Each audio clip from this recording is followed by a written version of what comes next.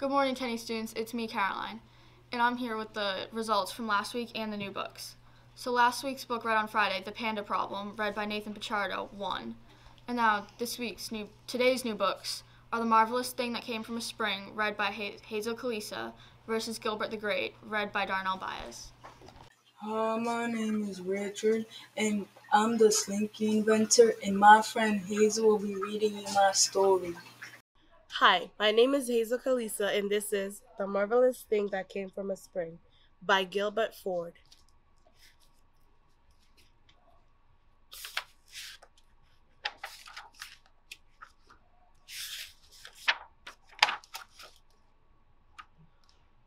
Richard James was a dreamer, but in 1943, the United States was at war. Richard had to support his country and his family, so he worked as an engineer for the United States Navy in a shipyard in Philadelphia. His assignment was to invent a device that could keep fragile ship equipment from vibrating in choppy seas. Richard tried all kinds of springs, but nothing was working. Then one day, a torsion spring fell from the shelf above his desk. It, its coils took a walk, and, and so did Richard's imagination.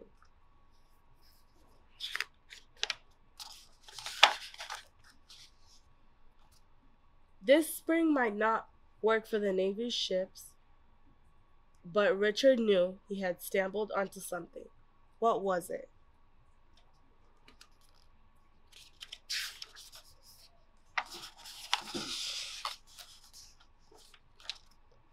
After work, Richard rushed home and showed his wife, Betty, the floppy spring. They gave the spring to their son Tom, who let it go from the top of the stairs. The family watched in astonishment as it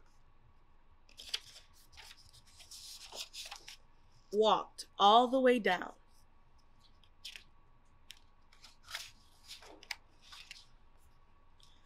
I think it's a toy, Richard marveled. Betty thought so too. She also thought that if they wanted to share their discovery with the world, they needed to figure out what on earth to call this thing. Betty thumbed through a dictionary for two days, underlining words. Nothing sounded quite right until she found slinky, meaning graceful and curvy in movement. Slinky also sounded like the swish and clink of the spring's coils in motion.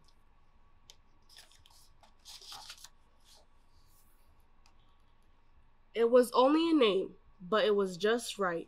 With one word, Betty thought she could transform this spring.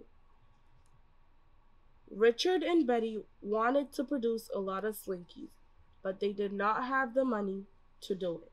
So Richard sprang to the bank and took out a $500 loan to have 400 slinkies made. Once they arrived, Richard brought his invention to every toy store in Philadelphia, but no one wanted it. Was the Jameses' idea a flop? Finally, he tried a large department store called Gimbels. Gimbels showed as little interest in the toy as the other stores, but Richard begged the manager to allow him to demonstrate how it worked to the holiday shoppers, just once.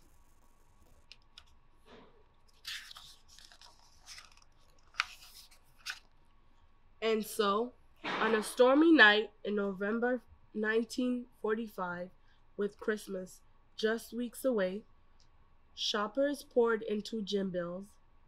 They were searching for the next great stocking stuffer, and Richard was ready.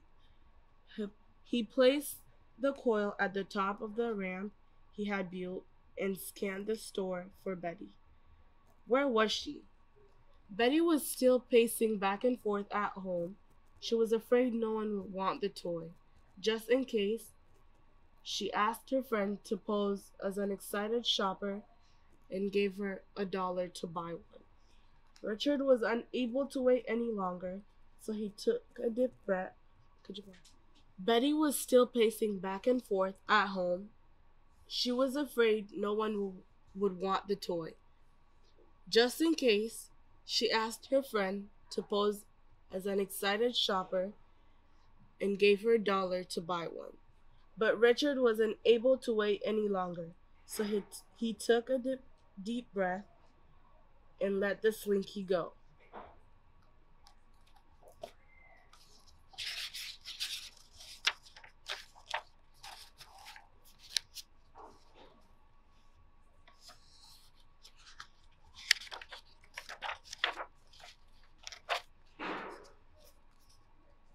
When Betty finally arrived at Jim finally arrived at Gimbels, there was no need to pretend to love the toy.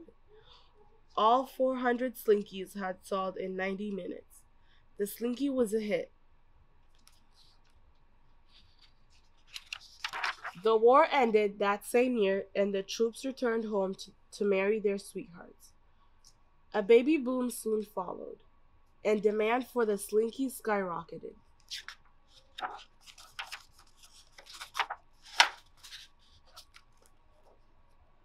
So, Richard dreamed up an even bigger idea. He used his engineering skills to build a machine that could coil 80 feet of steel wire into a slinky in 10 seconds. While Richard made the slinkies and drove the delivery van, Betty kept the business running smoothly. She, she frantically filled orders sent and collected payments, and hid their profits in a roasting pan below the basement. Soon, there was more business than the Jameses could handle by themselves. So, Richard and Betty built a factory and hired 20 people to work for them. At least they were able to spin out enough Slinkies for every child in America to have one. Today, the, the Slinky still inspires kids of all ages and all across the globe to play.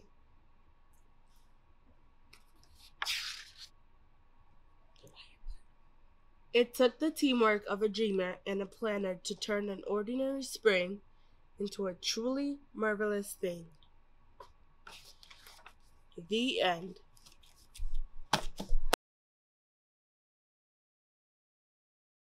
Hi, my name is Raymond, Gilbert's best friend, and Darnell will be reading his story. Hi, my name is Darnell Baez, and today we're going to be reading Gilbert the Great by Jane Clarke and Charles Fuge.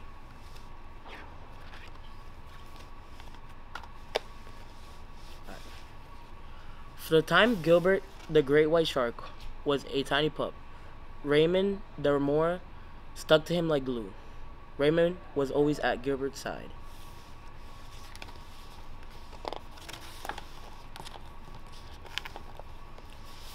When Gilbert was stuck in the seaweed, Raymond tangled him. When Gilbert was got dirty, Raymond cleaned him up. And when Gilbert lost his first row of teeth, Raymond helped him collect them for the Tooth Fairy.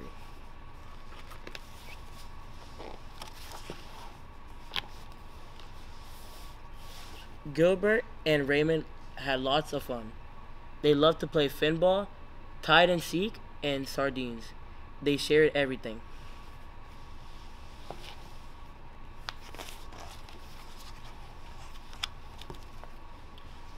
Then one day, Raymond told Gilbert that his family had to move across the ocean. I don't want to go, but mom says I have to go, cried Raymond. As Raymond and his family swam away, Gilbert's mother hugged him tight and tried to comfort him.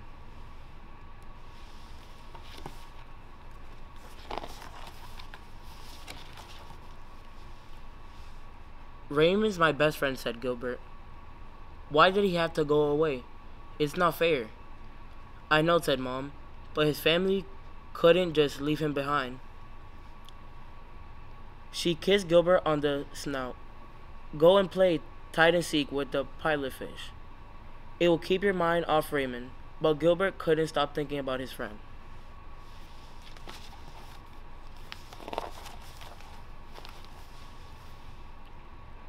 I want to move with Raymond, Gilbert said. He's moved too far away, said Mom. We have to stay here. Let's go watch the basketball game. The Thrashing Threshers are playing the Tidal Tigers. Who do you want to win? Gilbert looked around. There were, were remoras everywhere, but none, none of them was Raymond. I don't care, he said. He swam off before either side scored a basket.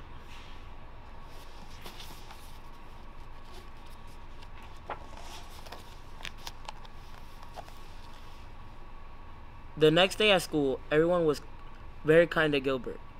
They even gave him an extra long turn on the seesaw. Cheer up, said Marvin the mullet. There are plenty of fish in the sea. There isn't another Raymond, said Gilbert.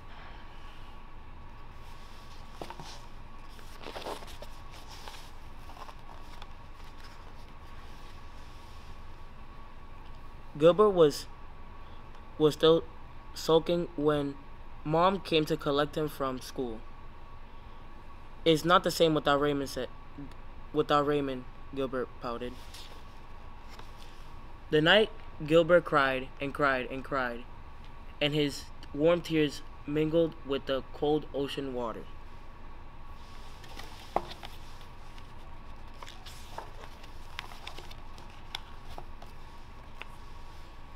The next morning, Mom took Gilbert gently by the fin and towed him into shallow water. Rocked by the gentle waves, they gazed out at the seashore and the bright blue sky. I hope Raymond's new home is as nice as this, said Gilbert. I'm sure it is, said Mom.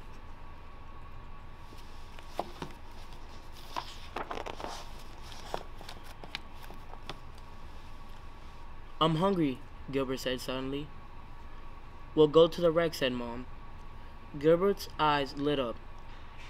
They didn't usually go to the wreck. Mom didn't like him eating junk food.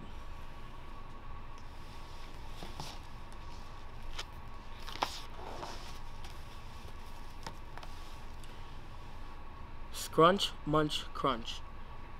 As Gilbert was biting into a pile of tin cans and bits of old boat, he spotted a small remora crying in the shadows. Gilbert stopped crunching and swam towards her. What's the matter? Gilbert asked. Mom and I moved and I had to leave my shark behind, she sobbed. Now I don't have any friends. My remora had to move to move too, said Gilbert sadly.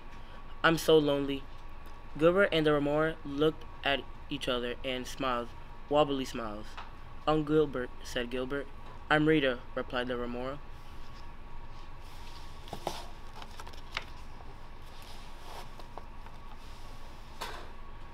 Just then a ray of sunlight filtered through the deep blue ocean. Gilbert's teeth flashed as he grinned a huge grin. Do you want to play finball with me, Rita? he asked. Sunlight danced in Rita's eyes. I'd love to, she said. And the two new friends swam off to find a ball to play with.